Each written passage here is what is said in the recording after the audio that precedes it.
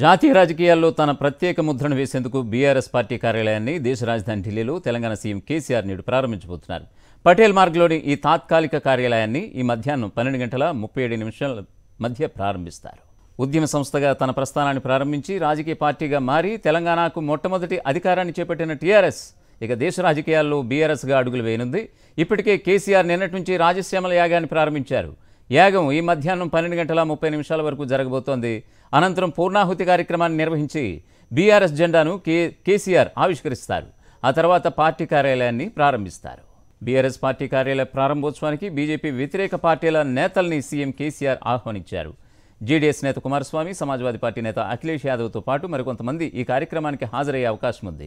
అలాగే పలు రాష్ట్రాల నుంచి కూడా ప్రముఖ నేతలు కూడా హాజరవుతారని ఆ పార్టీ నేతలు వెల్లడించారు. దేశ రాజధానిలో బీఆర్ఎస్ కార్యాలయ ప్రారంభోత్సవానికి హాజరు కాలేకపోతున్నారు మంత్రి కేటీఆర్. ఇవాళ ఢిల్లీ పర్యటన రద్దు చేసుకున్నారు. హస్తినాలో ఇవాళ బీఆర్ఎస్ కార్యాలయ ప్రారంభోత్సవం ఉంది. ఇప్పటికే సీఎం కేసీఆర్ సహా కీలక నేతలు అక్కడే ఉన్నారు. కేటీఆర్ కూడా వెళ్ళాల్సి ఉండగా రద్దు చేసుకున్నారు. హైదరాబాద్ రాయదుర్గంలో జపాన్ బిజినెస్ వరల్డ్ లీడర్స్తో సమావేశంలో పాల్గొనబోతున్నారు కేటీఆర్. అలాగే జపాన్ సంస్థ బోష్ ఆఫీస్ ఓపెనింగ్ కూడా ఉంది. దీంతో పార్టీ ఆఫీస్ ఓపెనింగ్కు రాలేనని సీఎం కేసీఆర్ అనుమతి తీసుకున్నారు మంత్రి కేటీఆర్. ఇవాళ బీఆర్ఎస్ పార్టీ కార్యాలయ ప్రారంభోత్సవం అలాగే అక్కడ ఎలాంటి ఏర్పాట్లు జరుగుతున్నాయి దీనికి సంబంధించిన పూర్తి అప్డేట్స్ ఇవ్వడానికి మా ప్రతినిధి వెంకటేష్ లైవ్ ద్వారా అందిస్తారు. వెంకటేష్! టీఆర్ఎస్ పార్టీ బీఆర్ఎస్గా రూపాంతరం చెందిన తర్వాత జాతీయ రాజకీయాల్లో కేసీఆర్ నేటి నుంచి తన ప్రస్థానాన్ని ప్రారంభించబోతున్నారు. సర్దార్ పటేల్ మార్గ్లో ఉన్న బీఆర్ఎస్ కార్యాలయాన్ని ఆయన ప్రారంభించబోతున్నారు. ప్రస్తుతం నేను బీఆర్ఎస్ పార్టీ కార్యాలయం వద్ద ఉన్నాను. పదకొండు గంటలకు ముఖ్యమంత్రి కేసీఆర్ ఇక్కడికి రాబోతున్నారు. కేసీఆర్ రానున్న నేపథ్యంలో పార్టీ నాయకులు కార్యకర్తలందరూ కూడా పెద్ద సంఖ్యలో ఈ కేంద్ర కార్యాలయం చేరుకుంటున్నారు. ఎంపీలు ఎమ్మెల్యేలు మంత్రులు ప్రజాప్రతినిధులు అందరూ కూడా ఈ కార్యక్రమానికి రావాలని ఇప్పటికే పార్టీ ఆదేశించిన నేపథ్యంలో పార్టీ నాయకులందరూ ఒక్కొక్కరు చేరుకుంటున్నారు. సో పదకొండు గంటల సమయంలో ముఖ్యమంత్రి కేసీఆర్ ఇక్కడికి వచ్చే అవకాశం ఉంది. సో పన్నెండు గంటల ముప్పై ఏడు నిమిషాలకు పార్టీ జెండాను ఆవిష్కరించి ఆ తర్వాత కార్యాలయాన్ని ప్రారంభిస్తారు. అంతకంటే ముందే ఆయన కుటుంబ సభ్యులతో కలిసి పూర్ణాహుతి కార్యక్రమంలో కూడా పాల్గొనబోతున్నారు. సో అబ్కీ బార్ కిసాన్ సర్కార్ అనే నినాదంతో తన పార్టీని జాతీయ రాజకీయాల్లో ముందుకు తీసుకెళ్ళాలని కేసీఆర్ నిర్ణయించారు. సో ఆ నేపథ్యంలోనే రైతు నాయకులను కూడా ఈ కార్యక్రమానికి ఆహ్వానించారు. ప్రస్తుతం మనతో పాటు మాజీ ఎమ్మెల్సీ నారదాస్ లక్ష్మణరావు ఉన్నారు. TRS party founder member. So బీఆర్ఎస్లో కూడా మీరు ఈరోజు పార్టీగా మారింది జాతీయ రాజకీయాల్లో ప్రస్థానం మొదలు పెడుతున్నారు సో ఎలా ఉండబోతోంది ప్రయాణం? ప్రజలకు ఏం చేయదలుచుకున్నారు ఈ పార్టీ ద్వారా? ఆనాడు రెండు వేల ఒకటిలో తెలంగాణ స్వాతంత్ర్య ఆకాంక్ష అనేటువంటి నేపథ్యంలో తెలంగాణ రాష్ట్ర సమితిని ఏర్పాటు చేయడం జరిగింది. ఈ ఇరవై సంవత్సరాల ప్రస్థానం సుదీర్ఘ ప్రస్థానం తర్వాత ఈరోజు భారతదేశ అభివృద్ధి ఆకాంక్షతోటి భారత రాష్ట్ర సమితిని గౌరవ ముఖ్యమంత్రి కేసీఆర్ గారు ఏర్పాటు చేయడం జరిగింది. అబ్కీ బార్ కిసాన్ సర్కార్ ఈ దేశం లోపల దాదాపు డెబ్బై శాతం మంది రైతులు ఉన్నారు. డెబ్బై ఎనిమిది వేల టీఎంసీల నీళ్ళు ఉన్నవి నాలుగు లక్షల మెగావాట్ల విద్యుత్ సామర్థ్యం ఉన్నది.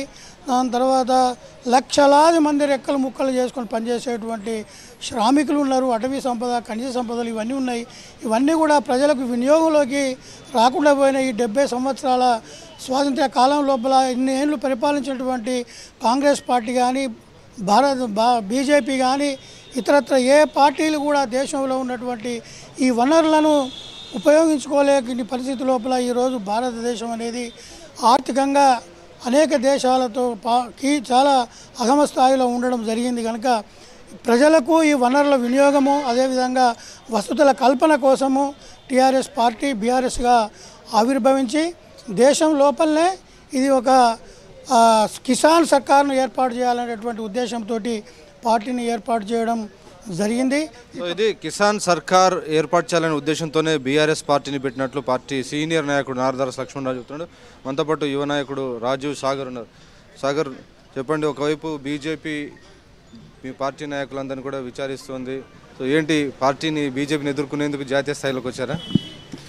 మీరే చెప్తా ఉన్నారు మా పార్టీని ఎదుర్కోవడానికి ఇండైరెక్ట్గా బీజేపీ పార్టీ ఇలాంటి సంస్థలను తీసుకొచ్చి ఈ విధమైన పాలన అరికట్టాలన్న ఆలోచనతో ఇలాంటి సంస్థలను ముందు పెట్టి బీఆర్ఎస్ పార్టీని ఇబ్బంది పెట్టాలనే ప్రయత్నం చేస్తారు కానీ అవన్నీ పట్టించుకోకుండా మా గౌరవ ముఖ్యమంత్రి గారు దేశ ప్రజల కోసం దేశ ప్రజల పాలన కోసం దేశంలో సమూలమైన మార్పుల కోసం ఈరోజు బీఆర్ఎస్ పార్టీని ఏర్పాటు చేయడం జరిగింది. ఈ బీఆర్ఎస్ పార్టీని ఈరోజు ఢిల్లీ నడిగడ్డలో బీఆర్ఎస్ పార్టీ కార్యాలయాన్ని ప్రారంభించడానికి కంకణం పట్టుకున్నారు ఈరోజు చెప్తా ఉన్నాం దేశంలో ఉన్నటువంటి పరిస్థితుల్లో కేంద్ర ప్రభుత్వాలు రాష్ట్ర ప్రభుత్వాలను ఏదైతే రాష్ట్ర ప్రభుత్వాలకు ఇచ్చినటువంటి అధికారాలను హరించుకోబోయి కేంద్ర ప్రభుత్వం పెత్తనం చేయబట్టాలనే ఎప్పుడైతే ప్రతి ఒక్క రాష్ట్రంలో కూడా అటు అక్కడ ఉన్నటువంటి లోకల్లో ఉన్నటువంటి పార్టీలు బలపడ్డాయి.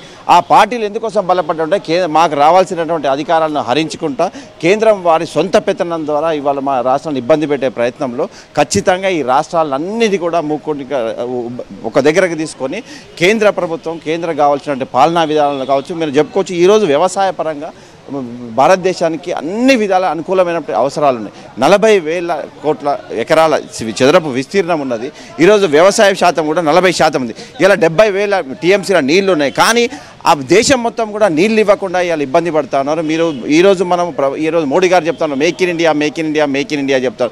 కానీ ఈరోజు చైనా నుంచి ఉత్పత్తులు తీసుకుంటే ఖచ్చితంగా ఈ భారతదేశం మీద రాకుండా చైనా నుంచి దిగుమతి చేసుకోవాల్సిన పరిస్థితి ఉన్నది. ఈ ఇరవై ఒక్క సంవత్సరంలో చూసుకుంటే నూట ఇరవై తొమ్మిది బిలియన్ డాలర్ల చైనాతో దిగుమతి చేసుకునే పరిస్థితి కానీ మేక్ ఇన్ ఇండియా అని చెప్పుకుంటా పోతున్నాం తప్ప అలాంటి పరిస్థితులన్నీ ఏమీ లేవు కాబట్టి అలాంటి పరిస్థితులన్నీ కూడా అధిగమించి ఈరోజు ఢిల్లీ గడ్డపై బీఆర్ఎస్ పార్టీని ఆవించడానికి గౌరవ ముఖ్యమంత్రి గారు ఈరోజు రాబోతున్నారు.